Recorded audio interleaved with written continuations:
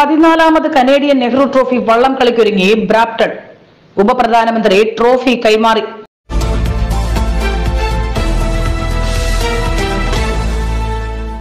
മലയാളികൾക്ക് എന്നും പ്രിയങ്കരമാണ് വള്ളം കളി. ആഴമേറിയ ജലാശയത്തിൽ കരുത്തിന്റെ തുഴയെറിഞ്ഞ് ചുണ്ടനും വെപ്പും ഇരുട്ടുകുത്തിയുമൊക്കെ കുതിച്ചു പായുമ്പോൾ ആർപ്പുവിളികളോടെ സ്വീകരിക്കുന്ന കാണികൾ മലയാള നാട്ടിൽ നിത്യ കാഴ്ചയാണ്. ഉപജീവനത്തിനായി മലയാളികൾ അന്യനാടുകളിലേക്ക് ചേക്കേറിയപ്പോഴും വള്ളം കളിയെ മറന്നില്ല. ഇത്തരത്തിൽ ഏഴാം കടലിനക്കരെ കാനഡ ബ്രാപ്റ്റണിലേക്ക് പറിച്ചു നടപ്പെട്ടതാണ് കനേഡിയൻ നെഹ്റു ട്രോഫി വള്ളം കളി.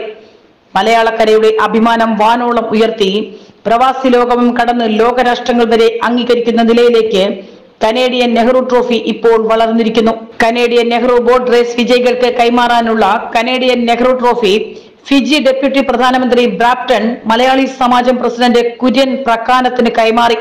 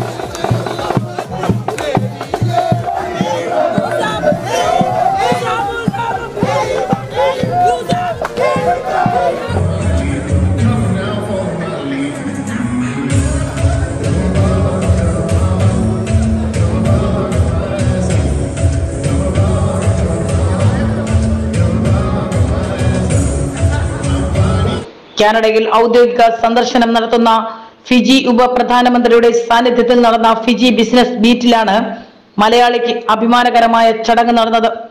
ടീം ഫിജി ഈ വർഷത്തെ വള്ളംകളി മത്സരത്തിനുള്ള ആദ്യ രജിസ്ട്രേഷൻ നിർവഹിച്ചു. കാനഡയിലെ വള്ളംകളിയെയും അതിന്റെ അമരക്കാരനും ബ്രാപ്ടൺ സിറ്റി അംബാസഡറും കൂടിയായ പ്രസിഡന്റ് കുര്യൻ പ്രക്കാനത്തെയും ഉപപ്രധാനമന്ത്രി മനോവ കാമികാമിക ചടങ്ങിൽ അഭിനന്ദിച്ചു.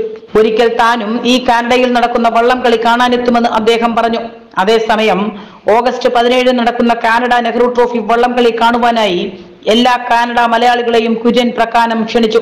നിങ്ങൾ എല്ലാവരെയും നമ്മൾ ഇതിന്റെ കൊടിയേറ്റ് കൊടിയേറ്റ് നമ്മൾ ഈ പത്തൊമ്പതാം തീയതി ഏപ്രിൽ പത്തൊമ്പതാം തീയതി കാനഡയിലെ ബ്രാംപ്ടണിലെ സിറ്റി ഹാളിൽ വെച്ച് നടത്തപ്പെടുന്ന സിറ്റി ഹാളിന്റെ ഫ്ലാഗിൽ നമ്മുടെ കുടിയേറപ്പെടും മലയാളികളും വന്നു ചേരണം. ഈ പരിപാടി വമ്പിച്ച് വിജയമാക്കണം നന്ദി നമസ്കാരം. ചെയ്ത് ഓഗസ്റ്റ് പതിനേഴിന് ബ്രാൻഡൺ പ്രൊഫഷണൽ ലേക്കിലാണ് മത്സരം നടക്കുന്നത്. മനോജ് കരാത്തയാണ് വള്ളംകളിയുടെ മുഖ്യ sponsor. Sabeena news desk Drishya news.